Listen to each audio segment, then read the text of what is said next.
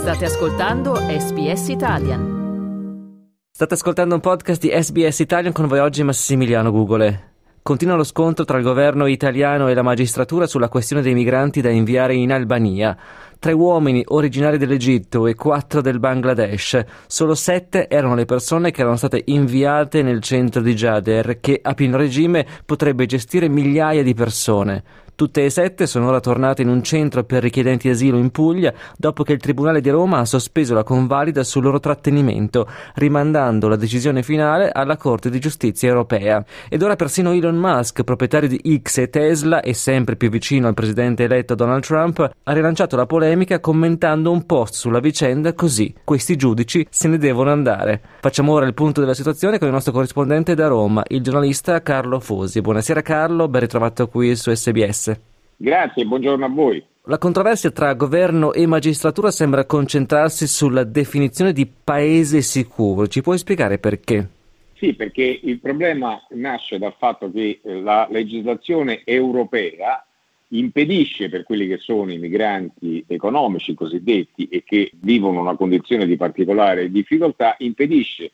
che questi migranti vengano rimandati dai loro paesi se i loro paesi non sono considerati sicuri ed è un vincolo europeo. Il governo italiano ha, come hai detto tu prima, creato con l'accordo con il presidente albanese Rama un centro di accoglienza sul territorio albanese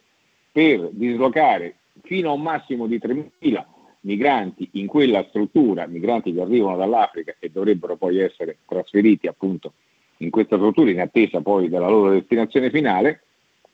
e fa questa operazione sostenendo che si tratta di un'operazione legittima e che è in piena regola con la normativa italiana. Il problema è che invece la normativa europea eh, eh, prevale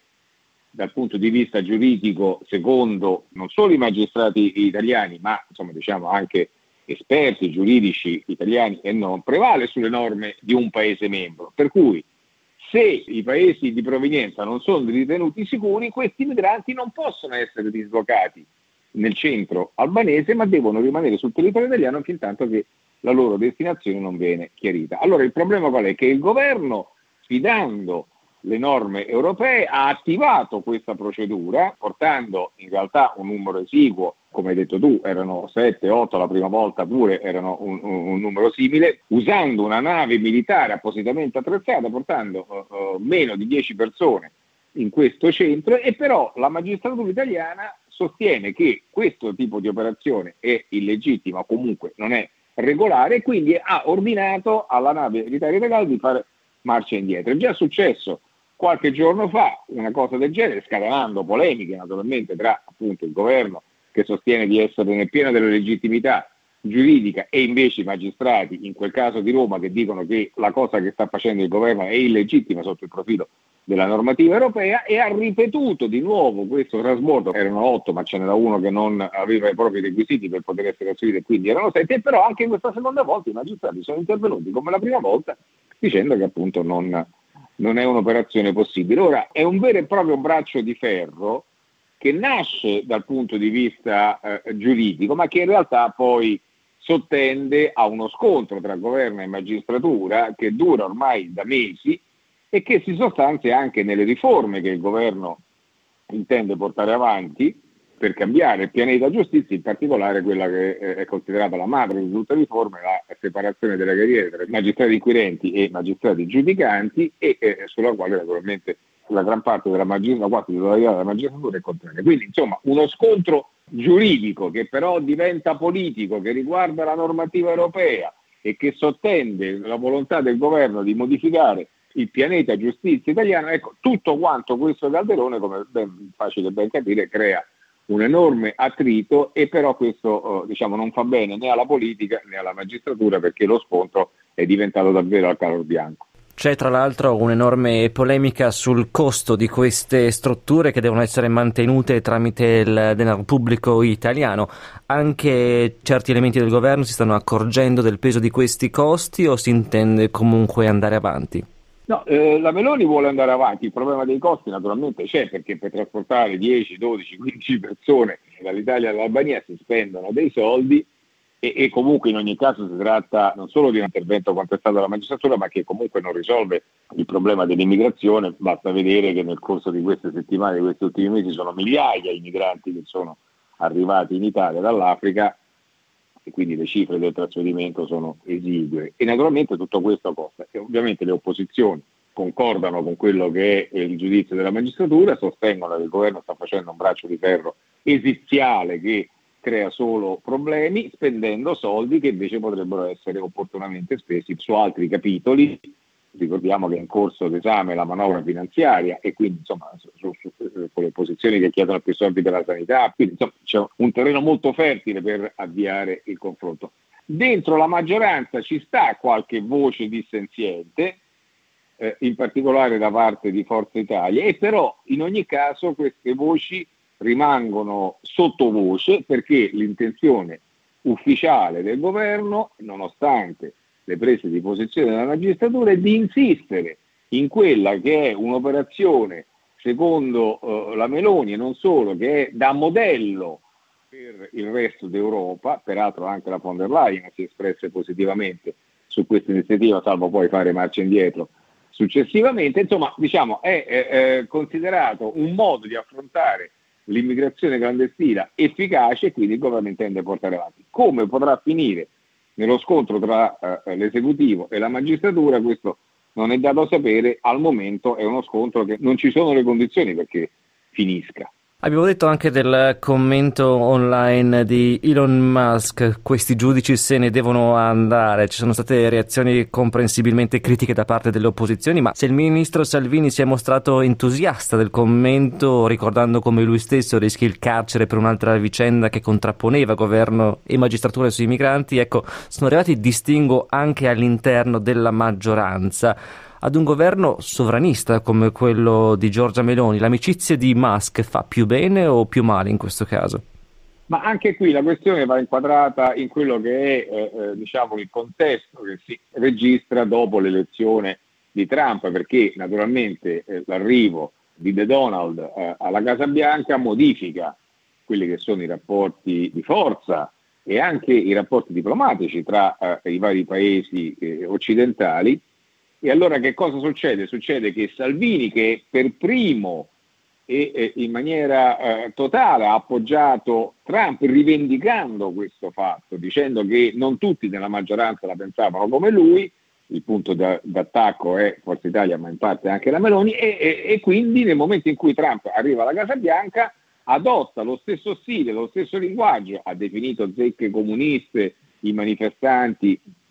a Bologna che erano a favore della Palestina. Salvini è stato l'esponente politico italiano che prima e più di tutti si è steso a favore di Trump. Nel momento in cui Trump ha vinto la corsa alla Casa Bianca, sente di poter rappresentare diciamo, il trumpismo in Italia e di poter avviare un legame speciale con Washington. Dall'altra parte, anche in vista di questa opzione politica, la Meloni ha sviluppato un rapporto molto stretto con Elon Musk, sono, sono visti a cena eh, a New York, sono stati eh, in America, sono stati insieme, hanno parlato, qualcuno ha detto addirittura cinguettato, insomma diciamo, ecco, si è creato un rapporto privilegiato. Ora sappiamo benissimo il, il rilievo che Musk ha sulla nuova amministrazione americana e quindi che cosa succede? Succede che Meloni e Salvini in qualche maniera si giocano, ognuno vuole giocarsi il rapporto specifico e speciale con la nuova amministrazione americana, lo fanno in ogni occasione possibile, adesso anche a partire dall'immigrazione e dal modo con il quale l'amministrazione americana cercherà di gestire i legami eh, rinnovati con l'Italia. Quindi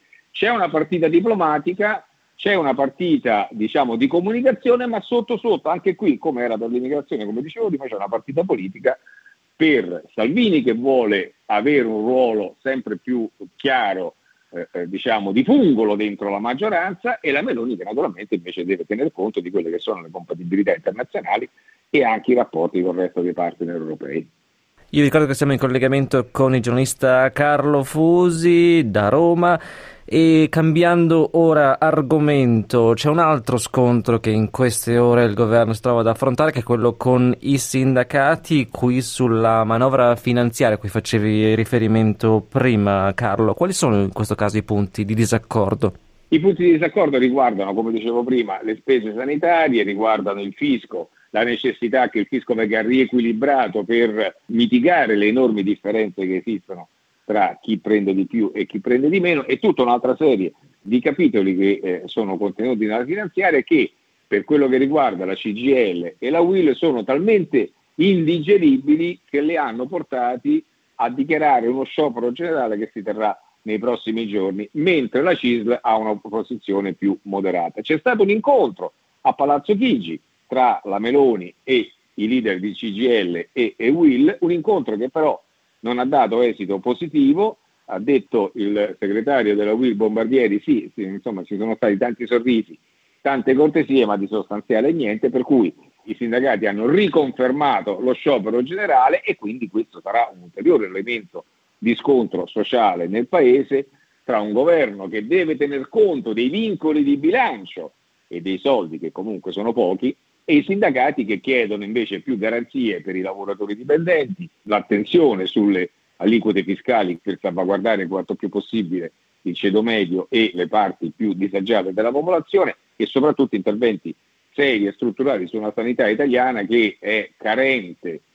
sia di personale, ci saranno migliaia di infermieri indiani che verranno assunti proprio perché mancano quelli italiani, è carente sia di personale sia di risorse e su questo non, non bisogna dimenticare che è in corso un'altra battaglia che pure arriverà a, a, a, alla fine, a dicembre, quando la Corte Costituzionale si esprimerà sul referendum che i sindacati, ma non solo i sindacati, anche pezzi della società, hanno indetto raccogliendo il numero adeguato di firme contro la legge sull'autonomia differenziata che pure sul capitolo sanitario comporta una dislocazione diversa di risorse tra nord e sud. Concludiamo questo capitolo battaglie con la notizia del rinvio del voto sulla nomina di Raffaele Fitto come vicepresidente della Commissione dell'Unione Europea. Che cosa è accaduto? Allora, la partita che riguarda Fitto è particolarmente complicata. Come sappiamo, come è, noto, il centrodestra italiano, sia per quello che riguarda Salvini, sia per quello che riguarda la Meloni, a differenza invece di Forza Italia che è iscritta al PPE, non hanno votato il rinnovo del mandato per la von der quindi sono fuori dalla maggioranza che guiderà la Commissione. E tuttavia, in virtù del rapporto molto buono che esiste tra Meloni e von der Leyen, la rinnovata Presidente della Commissione ha inserito un rappresentante italiano, appunto il Ministro Fitto, eh, nel eh, governo eh, della, della Commissione come vicepresidente esecutivo con una delega per la coesione e per le riforme. Naturalmente queste nomine debbono poi essere ratificate dal Parlamento e quindi ci deve essere una maggioranza, in prima battuta anche piuttosto ampia, dei tre quinti, che dice sì ai commissari indicati dalla von der Leyen e eh, ovviamente anche alle vicepresidenze. Il problema qual è? È che pur non avendo votato la von der Leyen, non facendo parte della commissione, la richiesta del governo italiano che Fitto stia appunto nella commissione rivestendo questo ruolo è una richiesta che, in, che è invisa a chi invece e in particolare ai gruppi di sinistra, della sinistra, del PSE, dei Verdi, quella commissione, i voti della commissione li ha dati. Quindi il rischio è che eh, Fitto, almeno fino a stamattina, poteva anche essere bocciato, e, mm, mm, in particolare nell'audizione che c'è stata, e che invece ha visto Fitto dire no, ma io non, non sono qui in rappresentanza né dell'Italia né dei fratelli d'Italia del mio partito sono in rappresentanza dell'Europa, sono un europeista, eh, appoggio l'Europa, che è un'affermazione abbastanza significativa per un governo che appunto al proprio interno spinte sovraniste molto forti. Dunque, adesso lo scenario più probabile è che la nomina di Fitto venga approvata e però questo naturalmente creerà ulteriori fibrillazioni dentro la maggioranza con Salvini che è d'accordo sul fatto che Fitto possa essere eletto, ma non, non, è d'accordo sulla commissione su, come, su quelli che sono gli equilibri, mentre la Meloni, ottenendo la vicepresidenza per un suo ministro, è ovviamente molto più soddisfatta e molto più in linea con quello che è la von. Quindi le dinamiche europee complicate, come dire, sono ulteriore benzina sul fuoco degli scontri nostrani, italiani, che già, come abbiamo detto fino a un minuto fa, insomma, non avrebbero bisogno di essere ulteriormente eh, accelerati. Davvero grazie quindi a Carlo Fusi. Carlo, una buona serata e a risentirci presto. Grazie, arrivederci. Cliccate mi piace, condividete, commentate, seguite SPS Italian su Facebook.